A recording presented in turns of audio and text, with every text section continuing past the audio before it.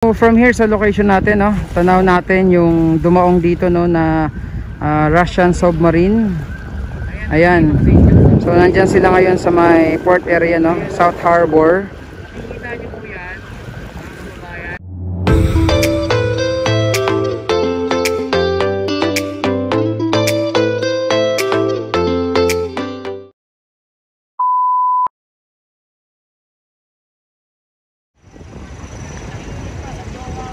Alright, so magandang araw po sa ating lahat and welcome back sa ating video. Ngayong araw po ng Webes, November 18, 2021. No? Ang time check tayo alas 10 po ng umaga.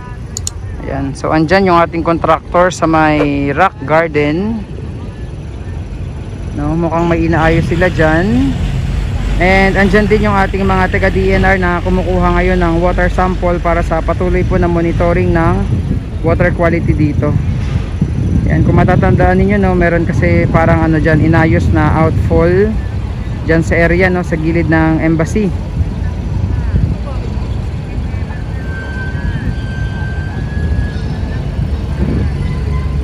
And, and again, yan yung talagang tinututukan ngayon ng ating DNR, yung ah, water quality. Yung tuluyan na, na maging class SB level na safe and fit for swimming that's 100 mpn per 100 ml po no na ah, coliform level ng tubig para masabi nating safe na safe na pong paliguan. Ayan so katatapos lang nila dito sa may beach area no ng mga heavy equipment na magpatag ulit magsuklay. Kaya makikita nyo ayan no gumanda tapos inalis yung mga pebbles na nagmix sa dolomite sand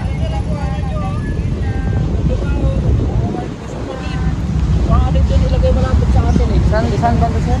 Ay, ayan na. Ayun na yun. Alright, so from here sa location natin, no, tanaw natin yung dumaong dito no na ah, Russian submarine. Ayan. So nandyan sila ngayon sa may port area no, South Harbor. At syempre andito yung ating mga taga DNR na kumukuha po ngayon no ng water sample. Ayan sila. Nakikita niyo po parang, parang ah, balyena.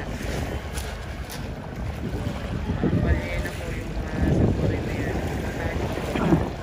Large pa yan, ano ba yan? Large naman. Hinahanap yung makina, kaya may submarine dito. Dalawa po ito no, dalawa kahapon dumating yon, dalawang Russian submarine tsaka isang military vessel. Ayan, pero itong nakikita natin na parang ah, parang balyena, no? Mukha siyang balyena oh. Ito ay ano, Russian submarine po.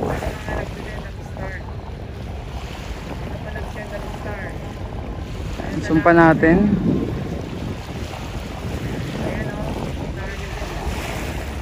Po. Opo. Ayan oh. Ayan, kitang-kita natin oh, 'di ba? Tanaw na tanaw natin dito sa may Dolomite Beach. Itong dumaong na Russian submarine dyan sa may South Harbor. Parang gumagalaw siya, no? Gumagalaw siya sa ngayon. Saan kaya ito papunta, Isme? Ah, baka pupunta na ng ano yan, ng Russia. Babalik na. Sabi kasi nila, Russian submarine yan. eh, Yan, oh. Russian submarine daw yan. Dalawa yan, dalawang... Ng Russia. Dalawa tapos isang military vessel. Ah. Ay, nakita ko rin yung, ay, hindi pala, wala pa ako nakikita uh, Philippine na submarine. Meron na ba tayo? Ayan, umiikot siya, oh. Meron na Philippine na submarine na ba? Wala pa, ano? Mga kababayan, meron na ba tayong kagamitan sa, ano, sa Parang paalis na ngayon. submarine ng Pilipinas? Wala pa. Ay, paalis na, oh. Paalis na. Paalis na mga kababayan na yun, oh, nakikita. Ay, ngayon lang ako makakakita ng ah, submarine na, na ano, Tapos, ayan yung ano, contractor natin dyan sa may rock garden, oh. Metin na Esme. Sino naman ang tubig? Ito, tignan yung linis. Parang masarap maligo dito. Ayan. May inaayos sila dyan sa may loob ng rock garden. Yan ata yung outfall dyan, no? Malayo na mga kababayan. Grabe ano, ngayon lang ako nakakita ng ah, dati ba kayo yung Marcos? Meron na bang submarine dati? Mga kababayan. Ayun no. May nakahanap yata eh. Ayun no. Palis yung submarine mga kababayan. Papalis na. Ibang. Ah, meron na ba? Nung napanahon ni Ferdinand Marcos?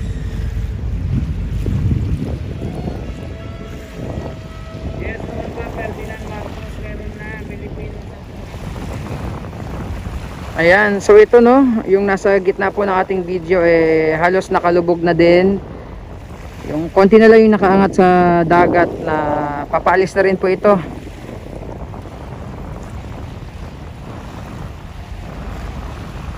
Yan, pero at least 'di ba naaktuhan natin. Aktual na nakita yung dalawang ah, Russian submarine na bumisita dito. Hindi lang natin alam yung info kung para saan or kung bakit.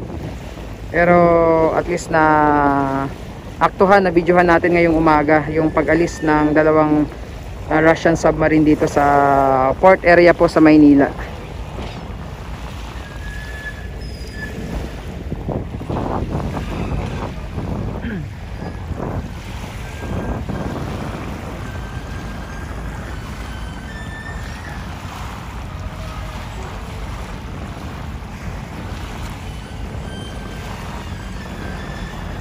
Parang balyena lang po eh, no? Ayan. Ayan, for the meantime, ito yung nagaganap ngayon dito sa may rock garden ulit, no? Bungkalan. Yung ating contractor. Ayan, no? Naayos nila yung outfall. Ayan, meron parang merong ah, French drainage na inayos dyan nung nakaraan.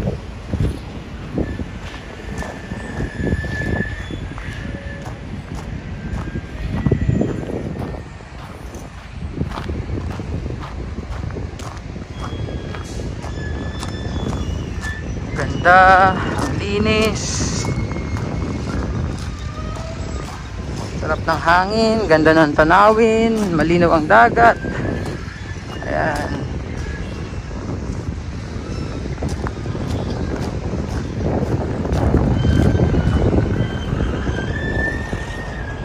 Baka sa susunod, hindi hindi na po ano no. Ito pa rin siya oh. Hindi pa pala nakakaalis, papaalis pa lang ayan oh.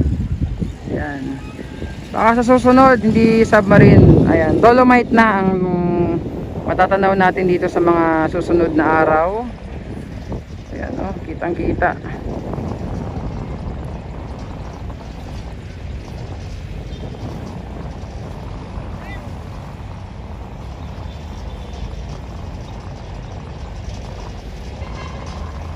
spotted no? Mula dito sa Dolomite Beach ang pag-alis ng dalawang Russian submarine dito sa may port area sa Maynila. Ayan.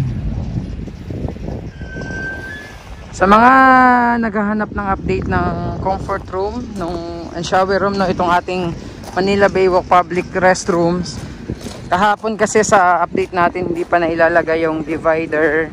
Pero ngayon nasilip natin. Okay na. Kompleto na. So mamaya pag okay na eh, cover natin ulit para makita nyo yung napakaganda at hindi tinipid na public restroom natin dito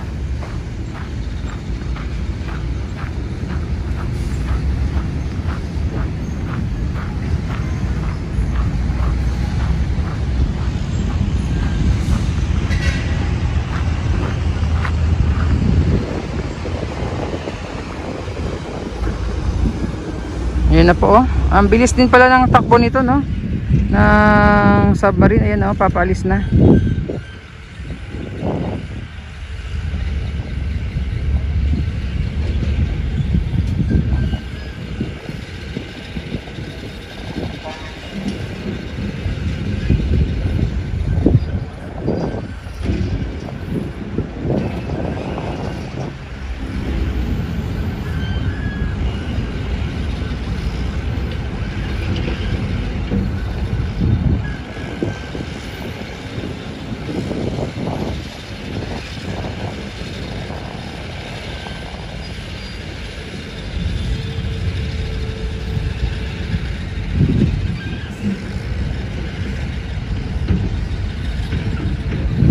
Yan, so thank you so much sa mga nakatutok sa ating update ngayong araw.